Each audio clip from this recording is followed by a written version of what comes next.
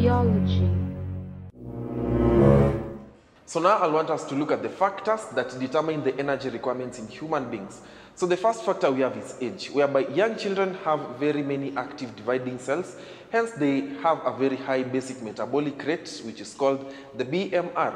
So they are also physically active, whereby they require a lot of energy to be able to do these activities. So we also have gender whereby most males are muscular and active than females. Therefore, they will require a high energy amount to be able to carry out their daily activities. So we also see that we have the state of health whereby sick people require more energy to help remove toxins from their bodies. Also, they'll require more energy to replace the cells that have been killed by the pathogens in the body. So we also have occupation whereby people engaging in manual work will require a lot of energy than the people uh, maybe who their work is to sit at the office and then conduct their duties from the office. Then we also have uh, pregnant ladies whereby they require more energy to be able to carry out their daily activities uh, as compared to when a lady is not expectant. So let's look at balanced diet. So what is balanced diet? So this is a meal, this is a dish, or this is a diet that consists of all types of nutrients or food in the right proportions. So it consists of proteins, vitamins, lipids, carbohydrates. We have minerals, water, and finally we have roughage. So not to forget that there are diseases that may come from lack of balanced diet. So like among the diseases, we have kwashiorkor, we have marasmus, we have obesity, and also we have uh, constipation. So let's begin with kwashiorkor. So what is kwashiorkor? So it mainly affects children, which is caused by lack of protein in the diet. So what are the signs and symptoms of kwashiorkor? So the victim may show swollen belly symptoms. So their skin may be scaly and might have rashes. So what's the treatment of kwashiorkor? So should give uh, food rich in proteins and vitamins so as to be able to counter this uh, disorder. So let's look at the next one, which is marasmus. So marasmus is mainly caused by starvation, especially in young children. And what are the signs and symptoms of marasmus?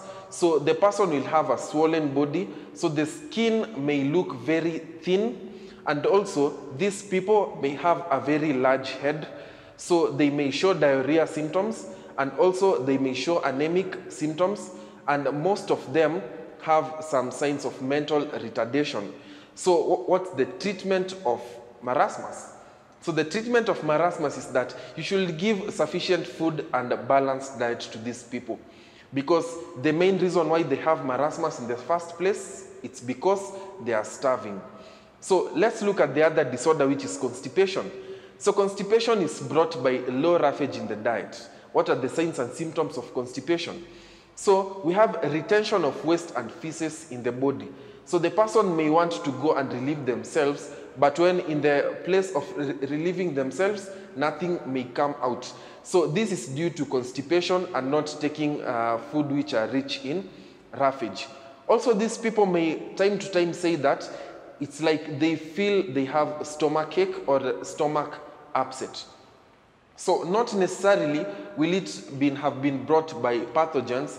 No, it might be brought by by diet, uh, maybe let's say diet disorders whereby this person hasn't been taking food rich in roughage. So they should check on, on that. So how can you treat constipation?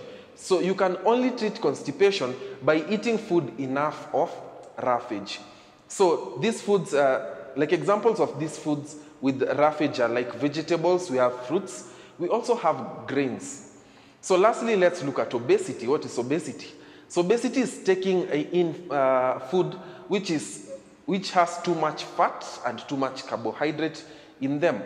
So it is also caused by lack of physical exercise. So these people who don't engage mostly in physical exercises may suffer from this disorder which is called obesity. So what are the signs and symptoms of obesity? So the person risks having high blood pressure, which is a very serious disorder. So the person also displays laziness for or in exercises and may also develop heart diseases in the eventually they may also develop heart diseases so what's the treatment for obesity So these people should be encouraged to eat less food uh, which contains fats and carbohydrates. They should also be encouraged to, to regularly exercise so as to burn the excess fat in their bodies. So let's meet on the next class as we now continue discussing more on biology and entering Form 2 work. Biology